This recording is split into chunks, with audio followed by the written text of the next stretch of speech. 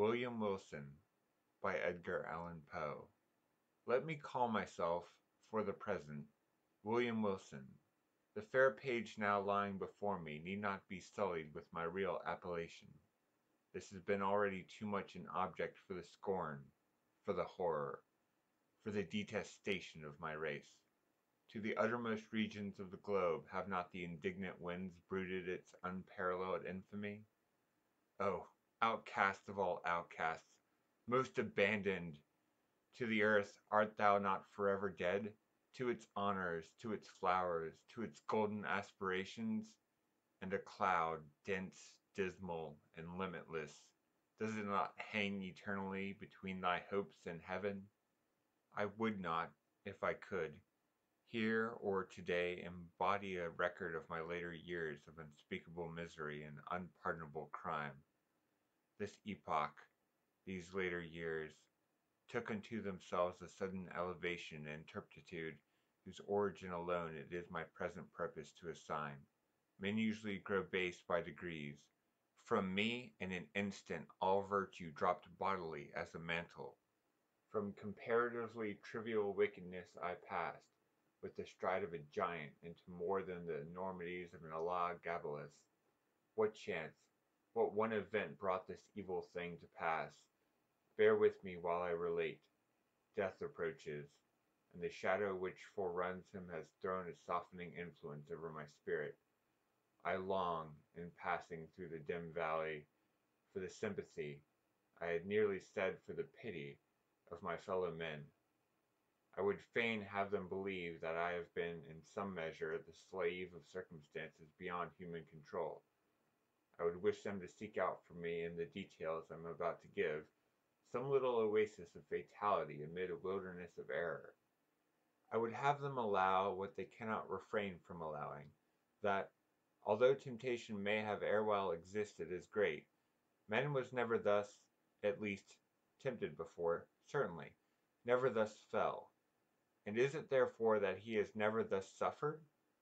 Have I not indeed been living in a dream?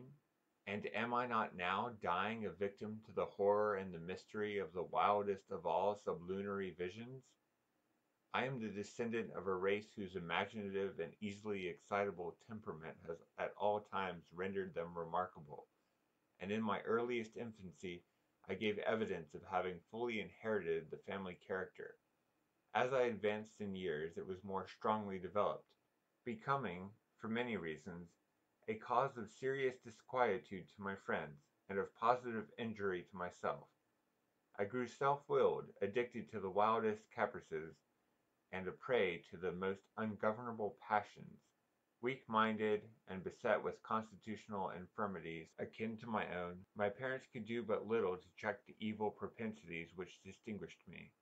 Some feeble and ill-directed efforts resulted in complete failure on their part, and of course in total triumph on mine.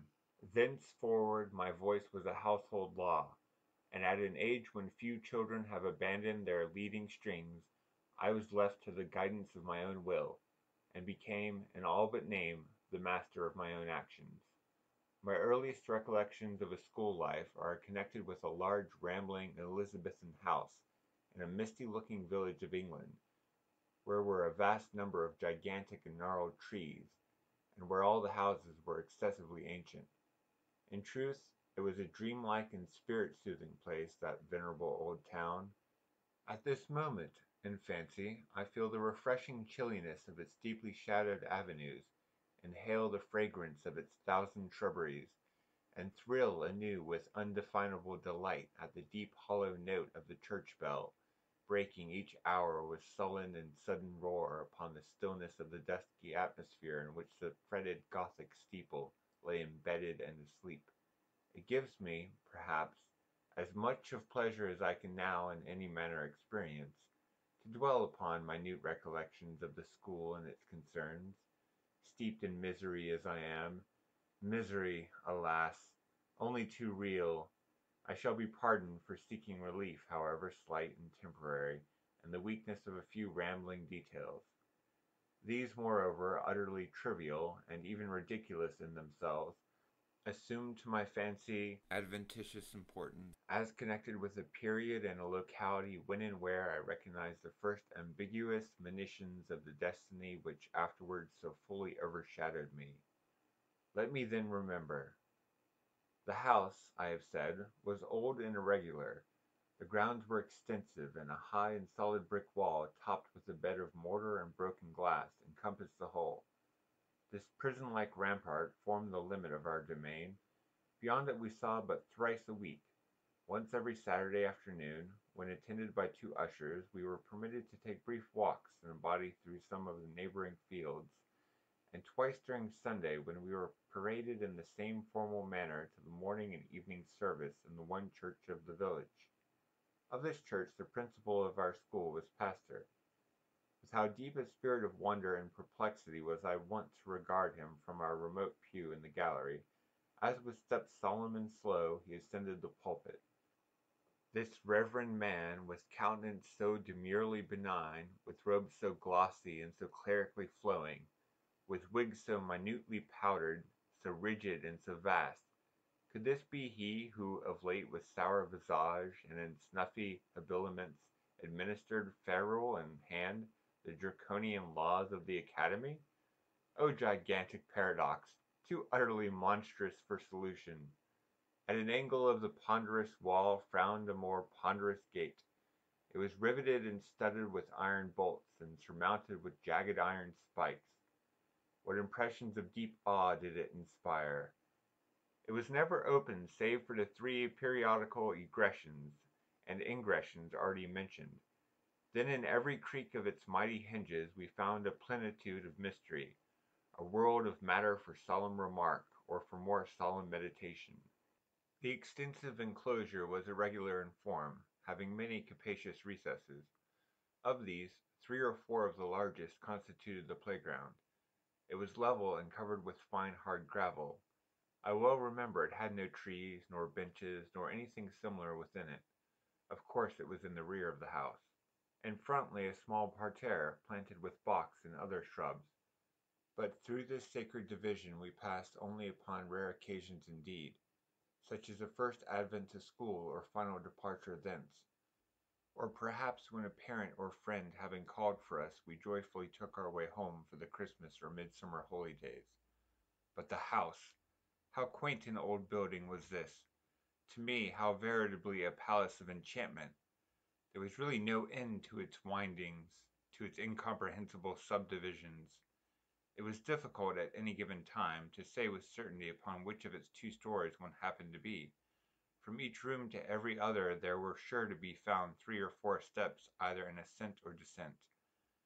Then the lateral branches were innumerable, inconceivable, and so returning in upon themselves that our most exact ideas in regard to the whole mansion were not very far different from those with which we pondered upon infinity. During the five years of my residence here I was never able to ascertain with precision in what remote locality lay the little sleeping apartment assigned to myself and some eighteen or twenty other scholars. The schoolroom was the largest in the house, I could not help thinking, in the world. It was very long, narrow, and dismally low, with pointed Gothic windows and a ceiling of oak. In a remote and terror-inspiring angle was a square enclosure of eight or ten feet, comprising the sanctum during hours of our principal, the Reverend Dr. Bransby. It was a solid structure, with massy door, sooner than open which in the absence of the Dominic we would all have willingly perished by the peine forte et dure. In other angles were two other similar boxes, far less reverenced, indeed, but still greatly matters of awe. One of these was the pulpit of the classical usher, one of the English and mathematical. Interspersed about the room, crossing and recrossing in English irregularity, were innumerable benches and desks, black, ancient, and time-worn piled desperately with much bethumbed books, and so beseamed with initial letters, names at full length, grotesque figures, and other multiplied efforts of the knife as to have entirely lost what little of original form might have been their portion in days long departed. A huge bucket with water stood at one extremity of the room, and a clock of stupendous dimensions at the other. Encompassed by the massy walls of this venerable academy, I passed, yet not in tedium or disgust, the years of the third lustrum of my life. The teeming brain of childhood requires no external world of incident to occupy or amuse it, and the apparently dismal monotony of school was replete with more intense excitement than my riper youth has derived from luxury, or my manhood from crime. Yet I must believe that my first mental development had in it much of the uncommon, even much of the outré. Upon mankind at large the events of very early existence rarely leave in mature age any definite impression. All is grey shadow, a weak and irregular resemblance, an indistinct gathering of feeble pleasures and phantasmagoric pains. With me this is not so.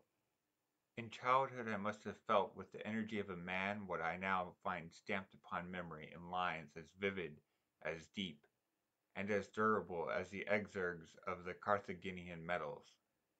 Yet in fact, in the fact of the world's view, how little was there to remember!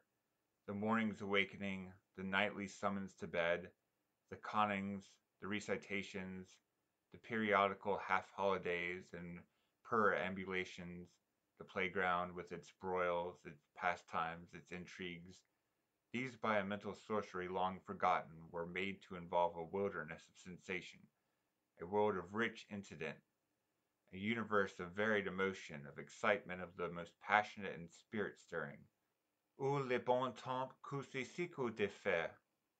In truth, the ardor, the enthusiasm, and the imperiousness of my disposition soon rendered me a marked character among my schoolmates and by slow but natural gradations gave me an ascendancy over all not greatly older than myself, over all with a single exception.